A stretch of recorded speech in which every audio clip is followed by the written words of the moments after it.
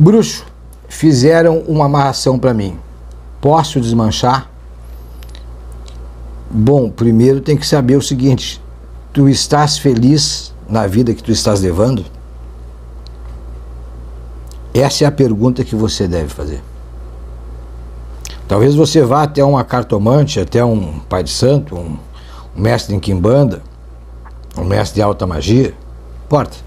Você consulte um religioso e ele diga, olha, foi feita uma amarração para ti. E a pessoa que fez a amarração é a pessoa que está do teu lado. Já vi muito isso acontecer. E aí você começa a se perguntar: será que eu estou com essa pessoa porque eu estou amarrado ou porque eu realmente gosto dela? Bom, aí existe um segredo. A amarração é, é, vamos falar primeiro de, do que é uma amarração. A amarração é pegar duas pessoas que já estão juntas ou que têm o pensamento ligado uma à outra ou o desejo de estar juntas. Aí você consegue amarrar. Agora você pegar duas pessoas que não se conhecem ou que se conhecem, mas uma tem interesse e a outra não, e tentar juntar essa, e tentar amarrar essas pessoas é um erro. Primeiro você tem que fazer com que essas pessoas tenham algo em comum. Pode ser só o pensamento? Pode, pode ser só o pensamento. E aí você contrata um religioso para ele fazer isso. Muitas vezes os religiosos sabem isso. Só que eles não, não, não te explicam direito e dizem para ti que vão fazer uma amarração. Tá? Não é que eles não saibam o que estão fazendo, eles sabem. Tem muita gente que sabe sabe que não tem como amarrar quem não está junto. Mas normalmente essas pessoas vão dizer: no momento em que vocês ficarem juntos ou que ele te ligar, tu vai ter que entrar em contato comigo. Para me dizer: olha, deu certo. Talvez ele não diga: olha, eu vou ter que terminar o ritual. Ele diga: ah, só para mim saber como é que tá. O dia que, o dia que ele entrar em contato contigo, tu me confirma. Por quê? Porque nesse dia. Nesse dia que vocês ficaram juntos, dali vocês têm mais ou menos uma semana para unir a pessoa e firmar essa amarração. Aí sim amarrar a pessoa. Aí prender essa pessoa. Aí você prendeu essa pessoa. Talvez elas sejam felizes para sempre. Mas a amarração não é sinônimo de felizes para sempre. Ele poderá se tornar um felizes para sempre, dependendo de como essas pessoas se comportam eu não gosto de usar palavras de baixo calão e vocês é, não me viram, a não ser em lives. Quando eu faço lives, às vezes eu faço uma live tocando violão, às vezes vocês. É, as lives não ficam. E aí eu digo um monte de bobagem, brinco, canto, né? E ali eu, eu uso palavras de baixo calão, mas normalmente por respeito a vocês, e eu acho que todo religioso deveria ser assim, embora tenha um monte de religioso aí que vai para a internet dizer um monte de bandalheira, e eu acho isso um desrespeito. Mas não estou aqui para julgar o procedimento dessas pessoas, porque, porque mesmo que elas digam esse monte de bagaceirada, às vezes são bons religiosos. É que acostumaram a, a tratar assim, então tratam. Mas eu não, eu não tenho esse costume. Tá? Eu, eu fora do vídeo eu sou outra pessoa. Aí eu digo bobagem, eu brinco, eu conto piada, mas não é disso que eu vim falar aqui, não vim falar de mim. Então, se você faz, se você é vítima de uma amarração, tá preso lá numa pessoa e tá feliz, tu tá feliz. É isso que tu tem que colocar na balança. Se tu tá feliz ou não. Se tu tá feliz, aproveita a vida. Seja feliz para sempre, mesmo amarrado. Agora, se você vive, você, por exemplo, é um, um homem e a mulher vive pisando no teu pescoço, te proibindo disso, te proibindo daquilo, e tu sabe que está amarrado, desfaz a amarração. Para ver o que acontece. Para ver se tu consegue sair dessa coisa utópica que tu, que tu considera felicidade e que não é. Se você é mulher e o homem te trata mal, e você não consegue se desapegar dele, se ele te chama, vou usar o termo aqui que eu não gostaria de vagabunda, tá? Que é, um, que é o termo que eu acho horrível. Um homem que, que trata uma mulher com essas palavras, ele tem que ficar é, sozinho. Ele não merece nem se apresentar como homem, porque o homem que é homem, a primeira coisa que ele faz é respeitar a mulher que está com ela, que está com ele. Ah, Bruxo, mas eu tenho um homem lá que, que me trata bem, não me chama de vagabundo e coisa e tal, mas ele tem umas amantes. Isso é outro, outra coisa. Isso é outra coisa. Isso é outra coisa. Tu sabe, tu sabe, eu vou te dizer uma coisa bem, bem certa. Tu sabe por quê que, que, ele tem, que ele tem algumas amantes? Talvez não seja culpa dele. Não, não tô aqui para defender e nem ser machista. Não tô aqui para defender é, homem que tem amante nem ser machista.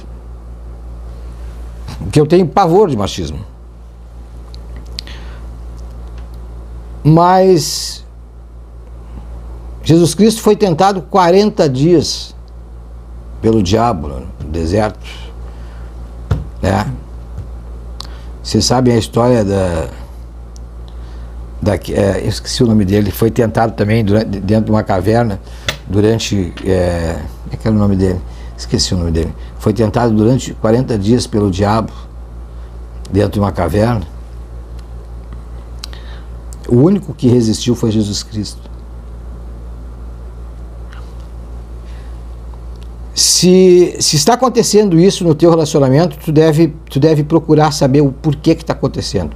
Talvez tu tenha um homem tão bom, ou talvez tu tenha uma mulher tão boa, e eu não estou falando, e eu não estou falando de beleza física. Não, não é isso.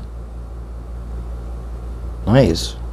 Mas tem uma pessoa que tem um coração maravilhoso e todas as, e, e, as, e as mulheres querem esse homem com esse coração maravilhoso, porque ele trata, ele te trata com respeito e as outras mulheres veem ele te tratar com respeito e elas veem que os outros, que outros que elas conhecem, não as tratam assim. Ele tem culpa? É, é claro que ele também tem culpa no cartório. É claro. Mas tem que entender. É, eu conversei com uma pessoa é, foi ontem, ela disse ela tem cinco, é, 50 e poucos anos. Isso serve para as mulheres também. 50 e poucos anos. Tem, é, é bonita, ou é bonito, e está solteiro ainda, e está procurando um relacionamento, cara, algum problema tem. Meninas, algum problema tem. Tem algum problema. Ou o cara optou por viver uma vida assim, solteiro ou solteira, aproveitando todos os prazeres da vida, mas vai chegar no momento dessa, da, da vida dessa pessoa que ela vai querer alguém do lado dela. E aí ela vai começar a passar por dificuldades. Mas se ela for uma pessoa boa, não importa a idade que ela tiver, sempre vai ter é, um chinelo velho para um pé torto. Mas talvez esse pé torto não seja o sujeito mais bonito do mundo, não seja um cara que tenha muito dinheiro, Hoje é importante. Hoje, esses dias eu disse para uma cliente, quando a, quando a fome bate na porta, muitas vezes o amor pula a janela. Mas é porque não era um amor real. Não, não era um amor real. Quando o amor é real, eu, eu, vou, te, eu vou dizer para vocês o que é um amor real. Um amor real é um casal com cumplicidade. Então, se você vive bem com essa amarração que foi feita, não desfaça. Não desfaça, tu tá bem. Agora, se por algum motivo tu te sente mal nessa relação e não consegue se afastar dela, bom, aí, aí desmancha. Conseguiu entender a mensagem? Eu poderia falar horas aqui sobre, sobre esse assunto. Poderia falar, poderia falar sobre pessoas que eu conheço que casaram duas, três, quatro, cinco, seis vezes. Conheço, pessoa que casou seis vezes e não conseguiu ficar casado. Eu, conheço, eu tenho um amigo que ele casou, ele teve seis relacionamentos, ele não conseguiu ficar casado nenhuma vez. E ele não é uma pessoa ruim, mas ele não consegue dividir a vida. Ele não consegue dividir a vida. Ele não consegue dividir a vida. Dividir a vida, toca a capa do meu celular, celular, estou gravando com o celular, está aqui a capa. Dividir a vida, por exemplo, vou te perguntar se teu relacionamento é assim, tu, tu pensa aí. Tu tem a senha do telefone do teu marido? Tu tem a senha do telefone da tua esposa? Isso é, chama-se cumplicidade. Tu tem isso? Ah, bruxo, eu tenho, mas eu não pego o telefone dele. Não, tudo bem? Tudo bem? Parabéns. Ele tem a senha do teu telefone, talvez ele também não pegue. Porque ele, porque ele confia em ti e tu confia nele. Mas por esse motivo vocês dois têm a senha dos, dos, dos telefones. Até porque se um dia acontece alguma coisa, é necessário.